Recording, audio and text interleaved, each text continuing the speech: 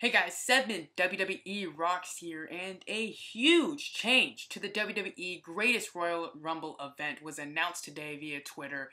Um, it surprised me because I just thought I saw Undertaker, I saw casket match. It was a tweet from WWE. I just assumed you know they were just continuing to promote him versus Rusev because um, that had already been announced. Obviously, if you've been keeping up with this big Greatest Royal Rumble event in WWE uh, happening in Saudi Arabia, of course, this massive, massive event. They announced Undertaker versus Rusev in a casket match, and I was pretty cool with that. I thought that's that's kind of a weird matchup, but you know, it's this big event. This is a wacky. This is a this is a wild card if I've ever seen one. Um, because it just you never know what they're gonna announce. They got Triple H versus John Cena. And they got a 50 man uh, Royal Rumble event. Uh, Brock Lesnar and Roman Reigns in a steel cage where the title's probably most likely gonna change hands. Uh, but today they changed it. So apparently, um, like hours before, Lana tweeted this. She said, All over the world, little boys and girls are celebrating Rusev Day. They smile for the greatest superstar ever. I've already spoken with WWE officials to change that match because I refuse to let my husband, Rusev, compete in a casket match at hashtag WWE GRR. Happy Rusev Day. it's it's an all it's always a great Rusev Day. Um, so apparently that's the storyline. Um, I, I do see a few people already saying this is probably Rusev getting getting granted a release because there has been rumors that he is wanting to leave the company. Um, but he got replaced with a pretty pretty awesome guy. So it is now, as you can tell by the title of today's video, getting to the point of today's video. Undertaker versus none other than Y2J Chris Jericho in a casket match. And I'm actually really, really happy about that. Um, I was totally fine with Rusev.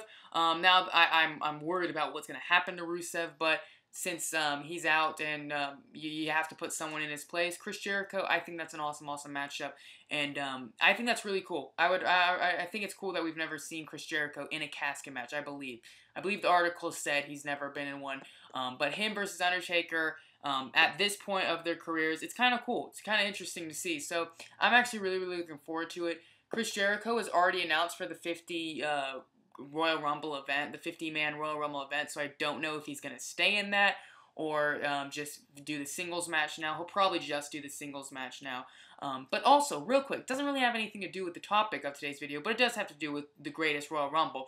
Have they announced like what the winner gets? Because this is the biggest Royal Rumble match in the history of WWE. 50 people. Um, you know, what is the winner going to get? Is it just going to be a, a, title shot, or is it going to be something like totally spectacular? I don't know. Does he already get booked for the next year's WrestleMania? Who knows? Um, but I'm excited. I think Chris Jericho versus Undertaker um, should be really fun. Putting it, putting it in the casket match, um, adding that element to a match, I think that makes it even more fun. Maybe it makes it a little easier for Undertaker just because uh, after WrestleMania, it's it's probably likely that he's not able to do all this crazy stuff. So maybe with just with that element, kind of making a no disqualification, they'll be able to do a little more stuff just around the ring and something that may be more easy on the Undertaker. Um, but I'm actually really, really happy about this. Like I said, I've said that like 30 times in this video already. Um, it's good to be happy about things. We need some positivity in this world. Too much negativity going around with wrestling and just everything. It's so annoying um, when everybody is so negative about stuff. But I'm pumped for this. Let me know if you're pumped. Um, it's looking like a really crazy card. Like this is looking. A lot of people are saying this is like the actual WrestleMania because it's looking pretty crazy. Um, they got a ladder match for the Intercontinental Championship basically it's the tr- same triple threat for WrestleMania, but Samoa Joe's uh, the fourth guy. Um, the Matt, the Bray Wyatt and Matt Hardy versus or the Revival versus the Bar for their tag team championships. Usos versus Bludgeon Brothers. Cedric Alexander will be defending. AJ Styles will be defending. Jinder Mahal is defending against Randy Orton. Um, in the 50, 50 man Royal Rumble match, they've already announced people like Kurt Angle, um, Daniel Bryan, Kane, Big Show, Braun Strowman, Bray Wyatt. So Bray Wyatt's probably doing double duty. Um, and like I said, John Cena versus Triple H, and the whole point of this video, Undertaker versus Chris Jericho in a casket match. It's a crazy card. This is such a random card, um, and I'm really, really glad that it's actually a network event because I feel like they're really gonna do storyline wise stuff, like probably a WWE title change. Uh, I'm guessing. I'm guessing for sure Reigns is gonna win it, but I mean, possible more title changes. Um, so it's a very, very exciting card, and I hope it lives up to the hype. I hope it's a really fun show um, and not taken too seriously, honestly. I hope it's just fun for the fans in Saudi Arabia and just a, a awesome, awesome event to watch on the network. So, let me know your thoughts on this. What's happening with Rusev? I'm, I'm nervous, guys. Please hold hold me. I'm nervous.